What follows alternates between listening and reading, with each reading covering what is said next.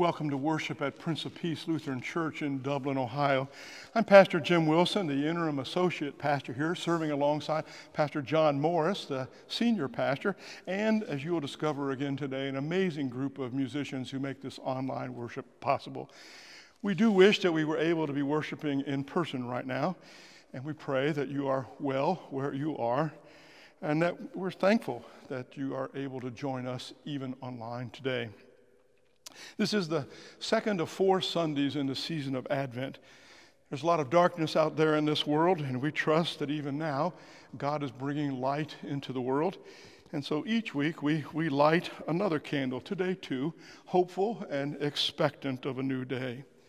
In terms of announcements about mission and ministry here at Prince of Peace, the giving tree is well underway, and your gifts need to be wrapped and brought back to the church this week so that they can be strib- distributed in time for Christmas for those who are in need. And secondly, uh, Advent devotions have been mailed out, and they are available here at the church in hard copy or downloadable on our website. But we hope you are enjoying the Advent devotions and, and are enjoying the discipline of being still and being quiet during the Advent season. Today is also one of my favorite days, which we really will not address in worship at all, but it is the, feast day of St. Nicholas, a patron saint of children and generosity. Last night, in a lot of the world, children, and none of this good girls and boys kind of stuff, because that's not how the real Bishop Nicholas of Myra rolled. Children last night um, put their shoes out under their beds in hopes that this morning they would find a treat or two in their shoes. Uh, I did, and I hope you did too. But, but if not, we hope that this worship together will be a, a treat for you today, balm for your soul, and light in your darkness as we celebrate God's amazing love for all people. Again, thank you for joining us for worship on this second Sunday of Advent. May God bless you all. In the name of the Father, and of the Son, and of the Holy Spirit. Amen. When God created the world, he made the crown of his creation the human race in his image. Perfect people lived in a perfect world in a perfect relationship with God. But mankind rebelled against God, bringing sin into the world and death to all. God declared the wages of sin to be death.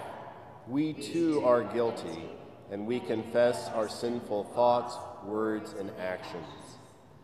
However, God, who is love, did not want to be separated from his children forever.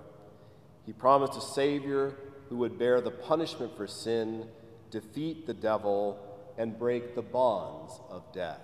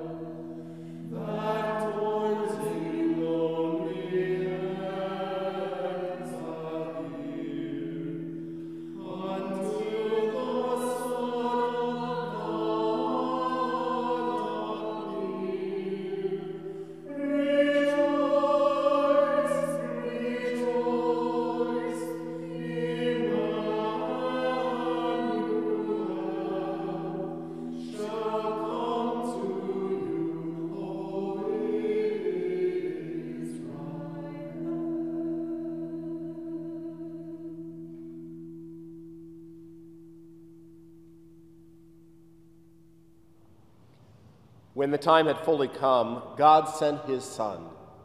Jesus, our Savior, has paid the ransom for your debt. Your sins are forgiven. In view of God's mercy, today we light the hope candle. The Spirit declares through the psalmist, Put your hope in the Lord, for with the Lord is unfailing love, and with him is full redemption. We wait for the Lord, and in his word we put our hope.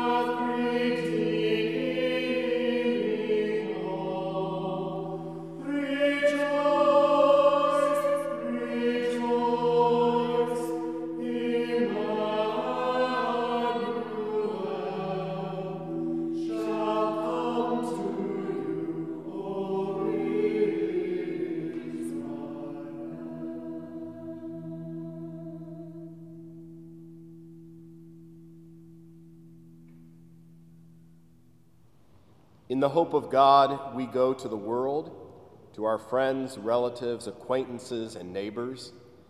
We regard no one from a worldly point of view. If anyone is in Christ, the new creation has come. All this is from God, who reconciled us to himself through Christ and gave us the ministry of reconciliation. God has committed to us the ministry of reconciliation. We are therefore Christ's ambassadors, as though God were making his appeal through us. Jesus, who had no sin, became sin for us. In him we have become the righteousness of God.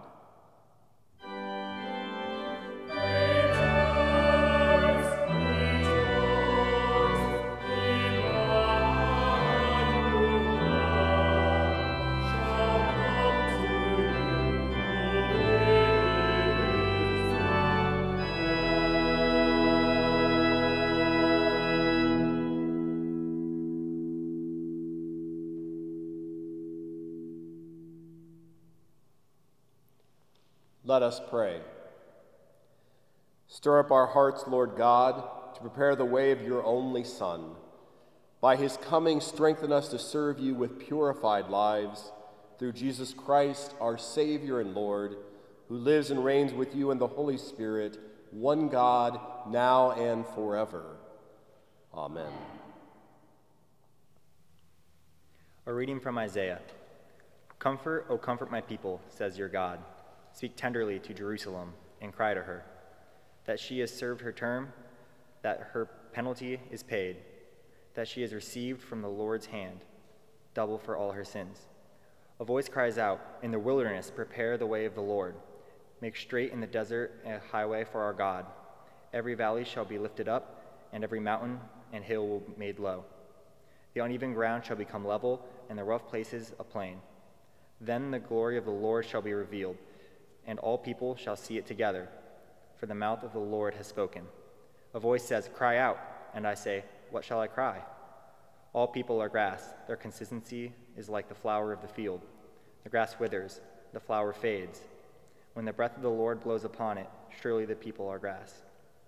The grass withers, the flower fades, but the word of our God will stand forever. Get you up to a high mountain, O Zion, herald of the good tidings. Lift up your voice with strength. O Jerusalem, herald of good things, lift it up, do not fear. Say to the cities of Judea, Here is your God. See, the Lord God comes with might, and his arms rules for him. But reward is with him, and his rec- recompense before him. He will feed his flock like a shepherd. He will gather the lambs in his arms and carry them in his bosom, and gently lead the mother sheep. The word of the Lord. Thanks be to God.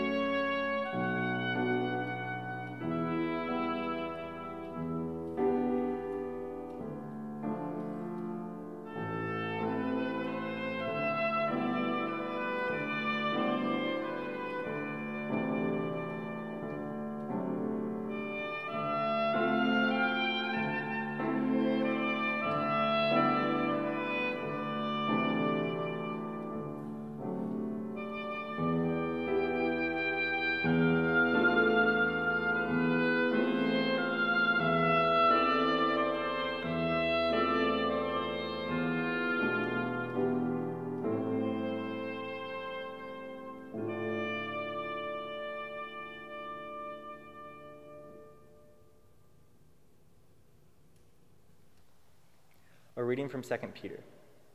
Do not ignore this one fact, beloved, that the Lord one day is like a thousand years, and a thousand years are like one day. The Lord is not slow about his promise, as some think of slowness, but is patient with you, not wanting any to perish, but all come to repentance.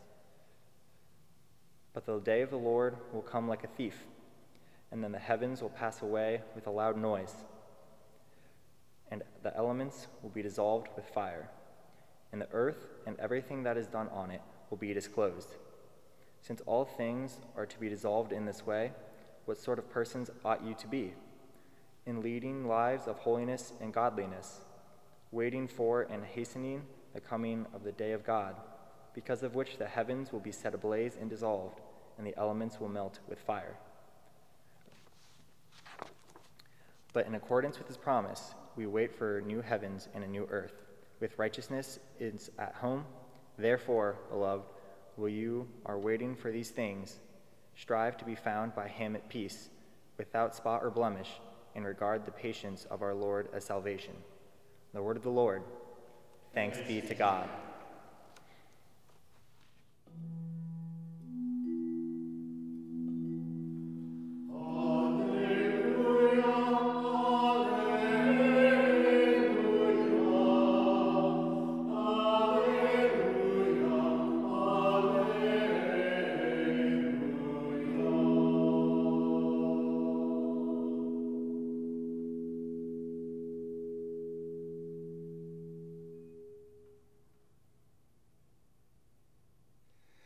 Gospel according to Mark, the first chapter.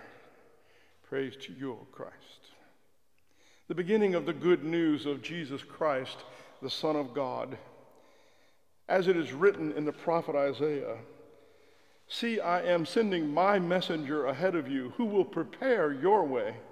The voice of one crying out in the wilderness, Prepare the way of the Lord, make his paths straight. John the Baptizer appeared in the wilderness, proclaiming a baptism of repentance for the forgiveness of sins. And people from the whole Judean countryside and all the people of Jerusalem were going out to him and were baptized by him in the river Jordan, confessing their sins. Now, John was clothed with camel's hair, with a leather belt around his waist, and he ate locust and wild honey. He proclaimed, The one who is more powerful than I is coming after me. I am not worthy to stoop down and untie the thong of his sandals. I have baptized you with water, but he will baptize you with the Holy Spirit. The gospel of the Lord. Thank be to God. Grace, mercy, and peace be yours through Jesus Christ, risen from the dead, and even now coming into our midst. Amen. I have always had a kind of love hate relationship with John the Baptist. And yet, every Advent, without asking me, the, the church in wisdom trots him out uh, this year two Sundays in a row, today from the Gospel of Mark and next Sunday from the Gospel of John. And there he is, this, this overly righteous, rigid, out preaching in the wilderness the way nutcases preach on a street corner. Everybody they meet, you're dead in your sins, you're dead in your sins. Repent, repent. No one in the ancient world was actually clean uh, the way we know it today. But John, John out there in the desert would have made anyone in the ancient world look well groomed. Camel hair and a leather belt. It's not the stuff you, you, you buy in a haberdashery. This is the leather that, that comes from the camel that you took out into the wilderness and eventually had to eat and skinned yourself eating what he finds, a kind of doomsday survivalist. Nothing but, but locust and, and wild honey. And I, I don't mean the, the deep fried or dipped in chocolate or in a little squeeze bottle kind. And then there's all these issues of what I would call self esteem. I mean, and it's more than just uh, moving out to the desert to be by himself, to get away from other people. And I, am not sure he feels good about himself or anyone else for that matter. Repent, he says. Prepare the way of the Lord. Get yourself straight. Someone is coming, someone is coming whose sandals I am not worthy to untie. This is the year of the Gospel of Mark. We just started the new year with Advent. This is the, the second Sunday. We're going to read primarily this year from the Gospel of Mark. Mark was the first Gospel account written. Matthew and Luke, and most definitely John, come much later. Probably they themselves had read Mark ahead of time. And, and Mark chooses to begin what he calls in this first chapter the gospel of Jesus Christ, the Son of God. He chooses to begin the narrative about the Son of God with John the Baptist out there preaching and baptizing in the wilderness. The purpose of the whole Gospel of Mark is to tell the story of Jesus and to tell it in such a way that, that people will believe it. And, and Mark decides not to begin with, with Mary and Joseph and not with angels and shepherds and farm animals and not certainly with tinsel and glitter and bright lights, but he chooses to begin with John the Baptist. Loose cannon. Seriously. The big question is why? Again, I want to own it is a love hate kind of thing with me. Call committee has been busy here at Prince of Peace for many months now, the associate pastor call committee. They've been meeting regularly. And the thing is, there's not a lot of mobility right now. Pandemic has put a, a damper on mobility. Who wants to move their families during the middle of a pandemic? And, and frankly, with no in person worship and no visitation in our homes, um, the need for an associate pastor is, is different. And, and for now, at least, an, an old retired guy might be enough. But it got me to thinking, so, so I'll just ask you if uh, John the Baptist applied for the position of your next associate pastor, how do you think things would turn out? Pastor John's grinning right now. He says, Well, might be an improvement. I cannot imagine John the Baptist as anything other than trouble. If, if John the Baptist moved into my neighborhood, moved in next door to me, went to my church, it would make me nervous. But here's the thing in the church's wisdom, this world and all that's wrong with it right now, could use a few more John the Baptist. And almost daily, I and, and a whole lot of pastors during this pandemic are asking God to make us more like Him. Here's why John believed that, that preaching made a difference. John believed that every time God's word was proclaimed, was spoken, was unleashed, that God would make something happen. I want to let that sink in for just a moment.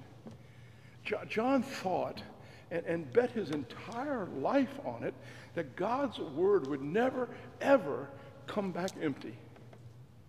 John believed with all of his heart that if he could just tell people what God had already done and God had already said, namely in the message of Isaiah, that we should prepare the way of the Lord. And we should make a straight path for his coming to get everything out of the way because a, a good and gracious and loving Lord is coming. And John believed that if he could proclaim that, that it would make a difference. Some of you know that I have been blessed to teach preaching at our, our local seminary a number of times. I always loved doing it, and it was, it was good for me. And I always started by reminding students that the, the hardest part of preaching is not public speaking. It's not finding something to say. It's not coming up with a clever anecdote. The hardest part of preaching, week after week and year after year, is believing that preaching makes a difference. And I love that every time John preached, he expected that God would do something. I love, secondly, that John the Baptist let everything go for the sake of the coming reign of God. He was that confident in what God had promised. John was so singularly focused on God's message and God's goodness, God's coming kingdom, that he just let go of things. We just finished a, time of focus here at Prince of Peace Church on, on gratitude and on generosity. Financial commitment cards are coming in. This past week was the target date. If you haven't yet, please do. Do, do so for yourself and, and for your family. And I, I have that financial commitment process on my mind as I think of John the Baptist letting go of everything, everything. And I, I'm not privy to financial commitment card information. I do think that the, the pastor ought to be, but not the interim associate pastor. But I will hazard a guess that no one is going to have to eat locust and wild honey for the next year based on how much they decided to share with God. Because John knew that the end was coming. The end of all of this, this, this crap that we are enduring right now. Because he believed what Peter said in our second reading that someday all of this will be dissolved. And that we are right now just waiting for a, a new heaven, wow, and a new earth where, where righteousness will be at home because he was certain that God was in control and would be in control, and the advent of that loving God was so near, rather than, than tighten his grip on all of his possessions, he, he loosened it. Third, don't panic, there's only going to be four. Even by our standards, John was a raving success. Uh, hundreds of people left Jerusalem and Jericho and Caesarea to go out into the desert to, to do some life cleansing ritual, something about repentance, something about being sorry, something about doing better than this in the future and washing dirty sin away with water. Even King Herod, who was the richest and most powerful man around, took notice of what John the Baptist was doing. I'm an American. Can you imagine the concessions that you could sell to those people out there in the desert? The swag, the towels, oh, you got to eat? No. Rather than a television studio and a satellite dish and a concessions contract, rather than a bigger house and a bigger salary and a bigger pension, John says, mm, nope, nope, nope. It's not me. It's not me. There's someone much greater than I coming, someone whose shoes I'm, I'm not worthy to untie. Somehow, John the Baptist was able to get away from this me and me and me and mine first ego that is feeding visions of success that dominates our culture and too much of our lives. John was so affirmed by God, so certain that God loved him and everyone else that he was able to forget what people thought about him and just, just point people to God, that it wasn't about him. Wouldn't you love to be that free, can you imagine how effective the church could be right now if we worried less about our power and our influence and our status and being right in the world and worried more about the just and merciful reign of God coming into the world, if we worried less about what people thought about us and more about what God thought about them. Fourth, which is finally, if you're keeping track, John lived as, as if Jesus was coming, as if Jesus was really coming. I struggled with this sermon this week. I want to, I want to own that a little bit. We've been working in advance by necessity. Uh, we recorded this message before Thanksgiving, before the first Advent candles were lit, before singing a single Advent hymn, before even the first piece of chocolate out of my Advent calendar.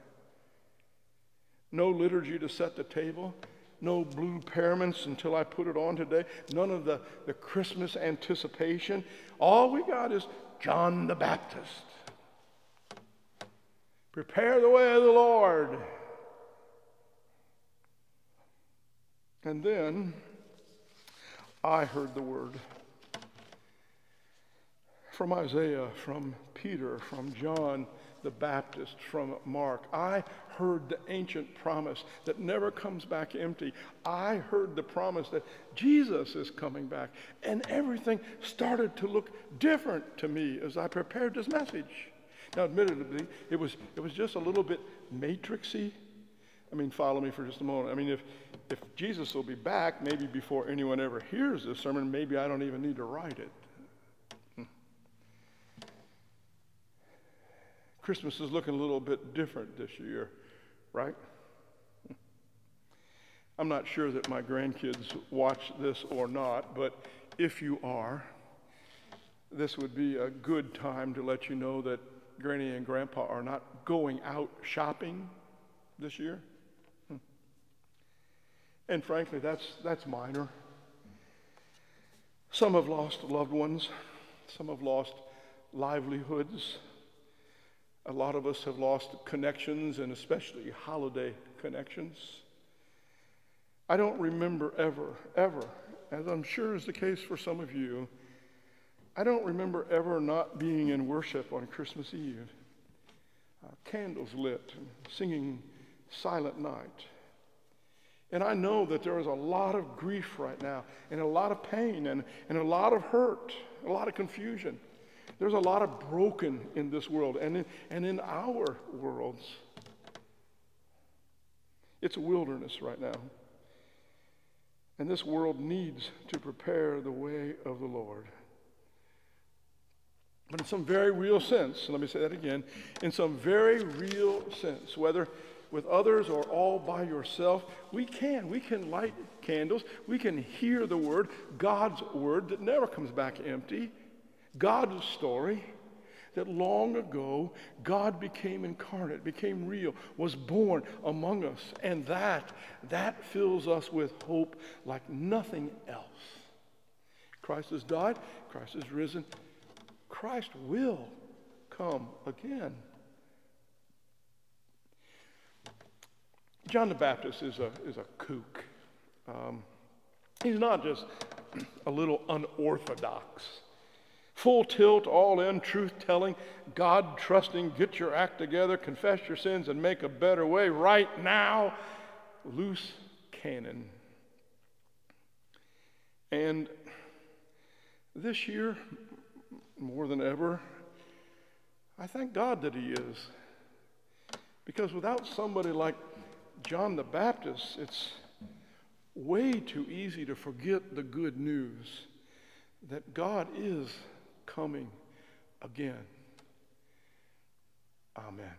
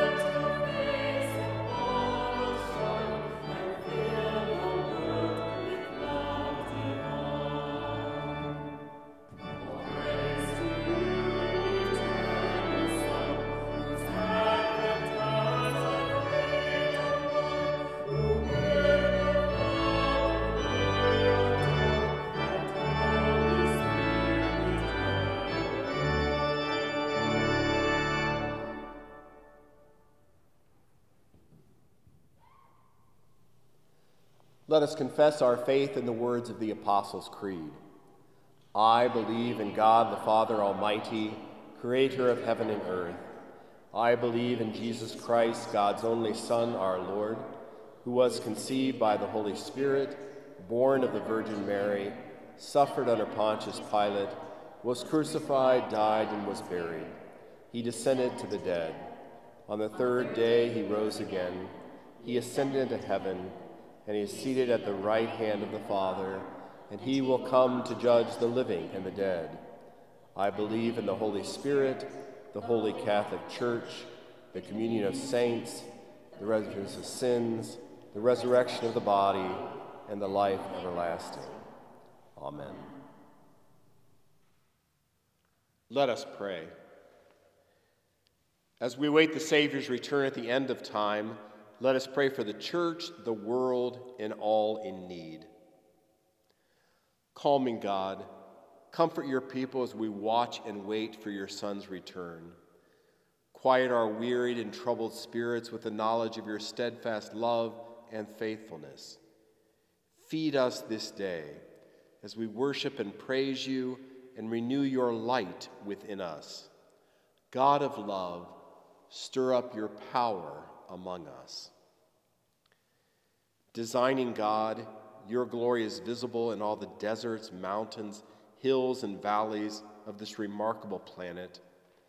As stewards of your creation, we are accountable for the use of the earth's resources. Inspire us to reverently and creatively discharge that responsibility. God of love, stir up your power among us. Just and loving God, while we wait for a new heaven and earth, we long for this world to be a place where righteousness truly feels at home. But instead, our world seems to house more injustice and violence than holiness and godliness. Help all victims of evil deeds to heal, and help each of us refrain from actions and attitudes that advance the destructive forces active in our world. God of love, stir up your power among us. Commissioning God, help us honor and reflect your light in our life's work. Watch over all who labor in service to others, especially pastors, counselors, teachers, parents, doctors, nurses, first responders, and all caregivers. Lead all who, who are seeking meaningful work to find it. Guide all in positions of authority to make wise and fair decisions. God of love, stir up your power among us. Caring God, when we are troubled or fall ill, gather us in your arms and gently hold us. Bring relief to all who are broken in body, mind, or spirit. Comfort those for whom the joy of the holiday season will be muted or even missing. We especially ask you to bring your healing spirit and touch those we now name silently or aloud.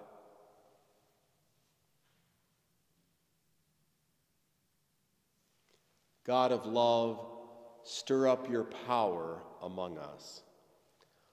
Holy God, we are grateful for your patience with us, your desire that no one should perish, and the knowledge that your word will stand forever. Thank you for the generations of believers who preceded us. Keep us faithful during our time of preparation for your return. God of love, stir up your power among us. We offer these and all our prayers in the name of Jesus Christ, our Savior. Amen.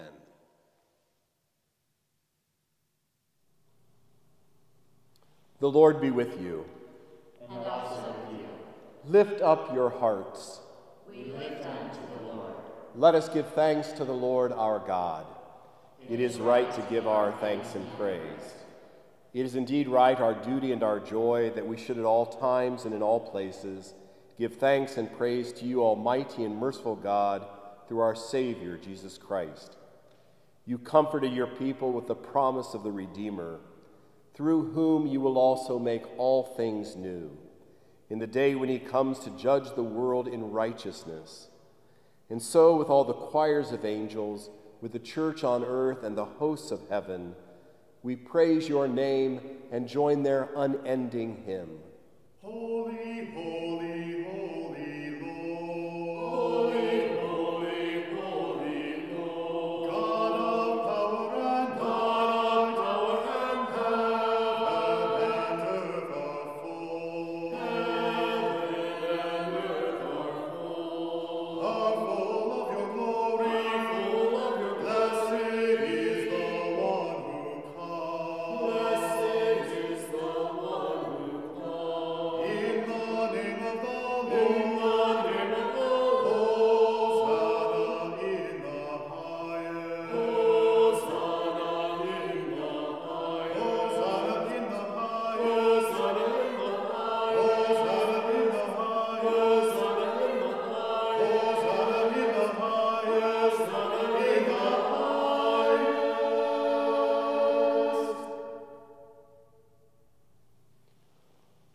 God, the beginning and the end, our salvation and our hope, we praise you for creating a world of order and beauty. When we brought on chaos, cruelty, and despair, you sent the prophets to proclaim your justice and mercy. At this end of the ages, your Son Jesus came to bring us your love and to heal all the suffering world. In the night in which he was betrayed, our Lord Jesus took bread. He gave thanks and he broke it. And he gave it to his disciples, saying, Take and eat. This is my body given for you.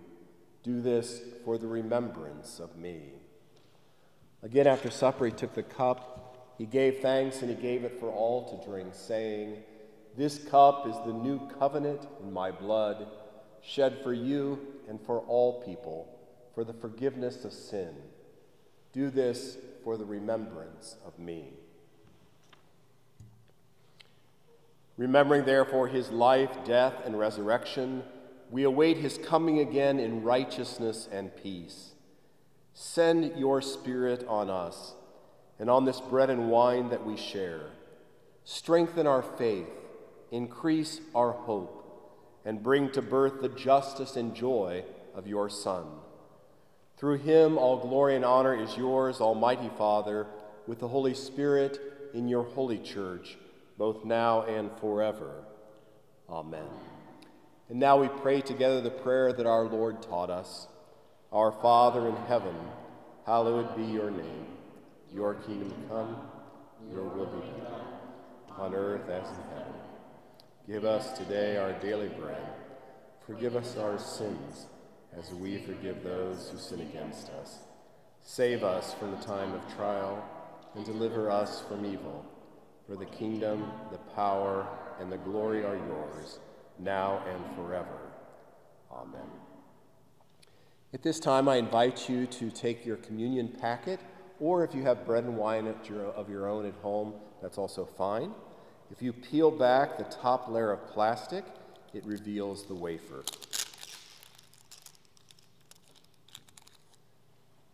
This is the body of Christ given for you.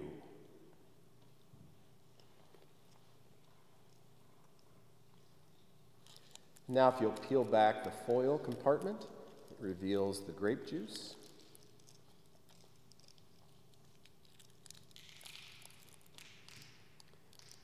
This is the blood of Christ shed for you.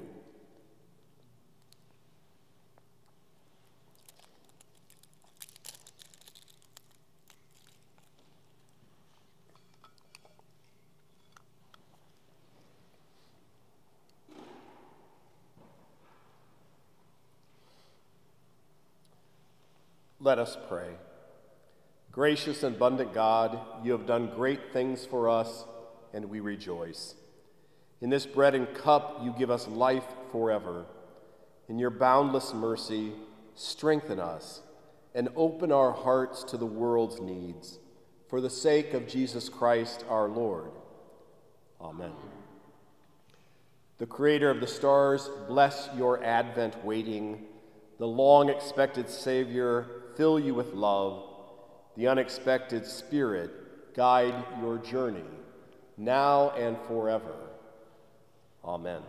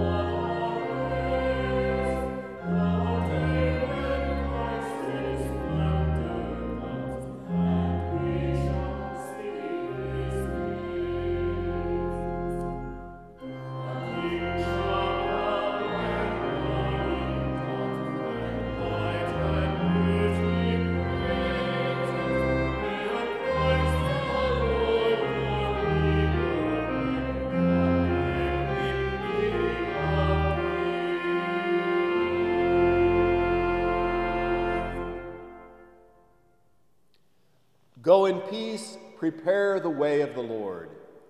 Thanks be to God.